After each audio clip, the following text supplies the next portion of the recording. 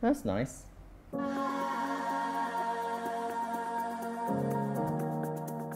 Hi guys, welcome back to my channel. Today, Lance and I are going to be doing a Papa and Daddy Q&A because obviously we recently became dads and it's been the most awesome journey ever and Robbie is literally the cutest thing in the whole world. I can't even explain it to you. And also, I've been working with Pampers Pure to launch their brand new range of nappies and wipes in the UK. We've been using these on Robbie as we were looking for products that are made with kind to skin, nature inspired ingredients, but at the same time perform extremely well and Pampers Pure does just that. I think it's awesome that a brand like Pampers has chosen to partner with a dad, and not only that, a same-sex couple, meaning we're included as a family in a brand that stands for exactly that. So let's get to the question, shall we? Should we get to the first question? No. But we are going to. All right. So the first question is from Jack Law.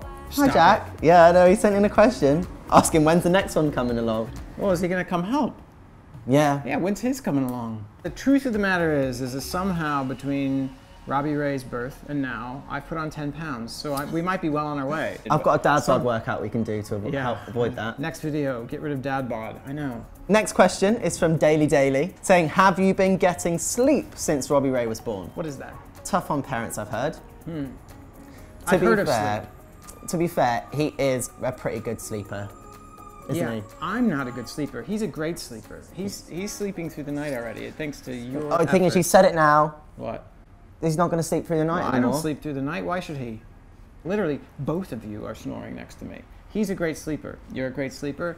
I need help, people. Next question is from Kaylee. Hi, Kaylee. Who says, which one's daddy and which one's papa? So, it was a little bit of like, what do we call ourselves? Is should it be dad and dad, dad and daddy, daddy, papa, dad, papa? There's so many different variations. The conclusion we came to is that if, when Robbie is 30 years old and he calls one of us daddy, might be a little bit weird. So, it's dad, Lance's dad. I feel like half the net internet's been calling me daddy for quite a long time. Hashtag daddy. So I'm daddy. I'm dad, daddy. That's what I've gotten used to. I read it all the time. Ask Twitter. And I'm Papa. Yeah. So, Papa T. Papa T. house. And daddy DLB. Daddy D and Papa T. Next question is from Maya B2110 who says, How is little Robbie doing and what has been the best part of being a parent so far? Hmm. He's got the life, people. Are you kidding me? Gets fed. Oh, he just he just eats, he sleeps, he poops, he repeats. It's amazing. I, and, and when he poos, like other people take care of it, all of it. Yeah, when he's hungry, a lot of it. someone just feeds him. I mean, we give him a bath each night. Who's giving me a bath each night? No one. But to the point of who's the, what's been the best part to me is when he looks at you and you finally see that he looks into it and it feels like he's looking into your soul. It's like the most special thing for any parent, especially now he's starting to smile and oh, Laugh. it's the most Yeah. amazing thing. Next question is from Cleed4747 who says, Who changes the most diapers? I do think that is pretty evenly split. Yeah. Now, One thing though I didn't know before being a parent is this. Right, I'll, no, I'll no. be, I'll be, I'm gonna show, I'm gonna show. Okay, you, show, you show, describe. show, show. So, here is a lovely Pampers I've always wanted to do this, like on the game oh. shows. Hey. Like on the game shows. Oh, I'm just, don't explain I know, but I'm just modeling it. Okay. So, if you can see this yellow line, I'm going to show it to the side camera. This yellow line on the front of the nappy, it turns blue when he's peed. You don't even have to open the nappy to know if he's peed or not. But I had no idea that a nappy could even do that. And also, it, like, it soaks in all of the moisture, so when you take it out, it's got the heart quilt inside, and it is dry. Yeah, it's very dry. I like the sentiment that's written across this. I say, Tom, thank you for changing this nappy, and I love you. It says it right there across it. It's great. So that's for you. Next question is from Miller underscore Lapis- Lapasti. Lapasti? I don't know. Who says, What is the most noticeable change in your life after Robbie's birth? Love you all. I think the most noticeable thing that changes when you have a kid is that it changes your perspective on everything, right? I think so. Like now, he is the thing that our life revolves around, and it we it's one of the most amazing things. And you don't even I can't even remember what it was like before being a parent, if I'm honest. Do you? I have vague memories of sleep, Hmm. but uh, but but they're distant. Yeah. But here's the here's the thing, I was doing it even today, uh, and you know, I mean, it's part of my job. Like I feel like my job has always been to understand how people are feeling and reacting, and how you're treating people, and how they're treating each other. And it's from character work and film and TV and stuff. And I thought I was good at it, and now I realize I could have been better. Like having a kid makes you really empath- empathetic. It makes you a little more patient. Makes you want to be a little more kind. That just brings you so much happiness and joy and love. well, there's that too. He does. Next one is from Zara Machav. Machav. Your biggest fear about being a parent. I think anyone's biggest fear about being a parent is messing up. And all we want is what's best for Robbie Ray. And we will always try and do the best thing, right? Yeah, I mean, I think I had a lot of fears when Yeah. before. I was so I'm so poop and vomit phobic. Hope this isn't sharing too much. Like I don't want to talk about it. I don't want to hear about it. If I saw like vomit on a on a school bus, I was n- number two to throw up. And and you just realize like in parenting as it comes along, you're like that's actually not that scary. I'm gonna say this. The first time he pooed, I looked at that well-formed poo, and I had never been prouder in my life. I was so proud of Robbie Ray's first little poo. So proud. It wasn't little. It was not little. It was it was fantastic. Next question is from Poppy White, who says, How did you decide on the name Robbie? Well, Robert was his name on his birth certificate, and we named him Robert after my dad, who passed away in 2011.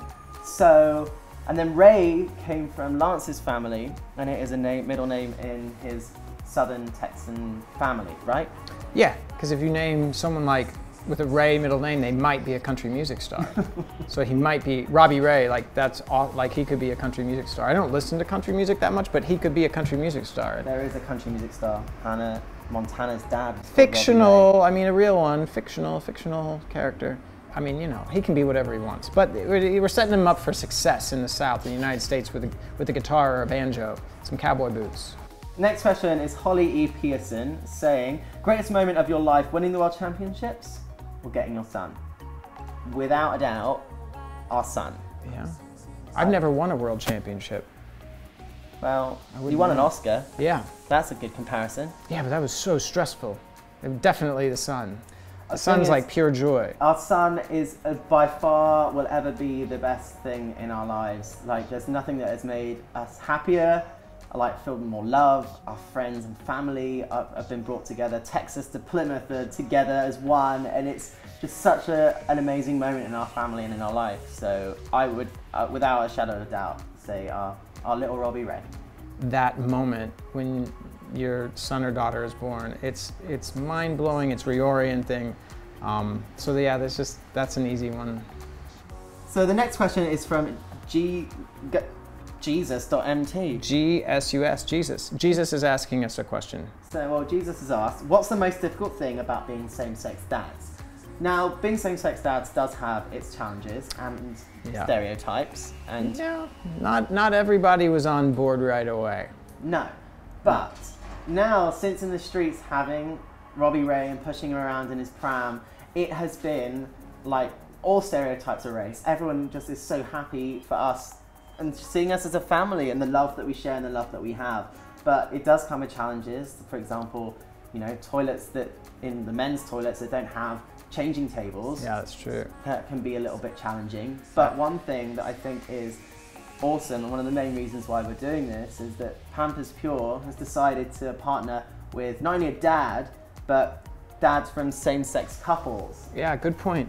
It's it's it, it says loud and clear. Like yes, uh, same-sex families are a part of the Pampers family, which has got a long tradition of, you know, supporting families, but also dads. Right? Yeah. Dads have a big part in raising children, and if they don't, they oughta. Come on, dads, step up. Dads And do diapers too.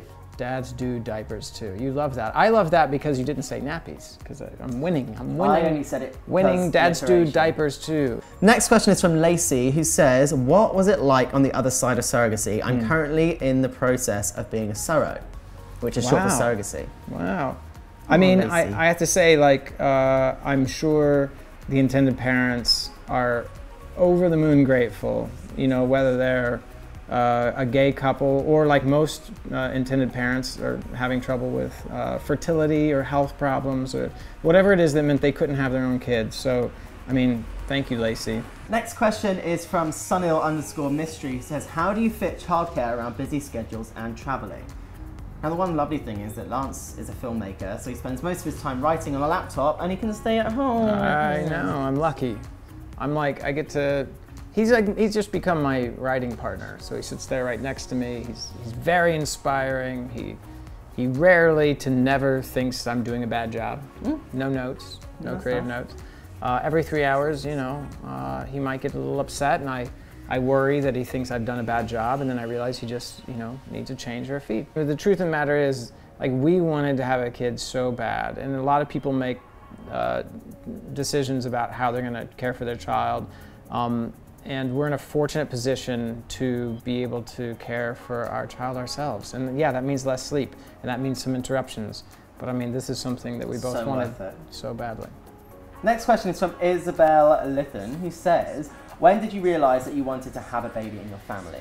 Now, I've always been a big family guy, and Yeah. I've always wanted a kid more than anything in the whole planet. Like, I started buying baby clothes before I even met Lance. It's true. And so to be able to pass on the lessons that my mum and dad have taught me onto a kid of our own has always been a dream of mine, right?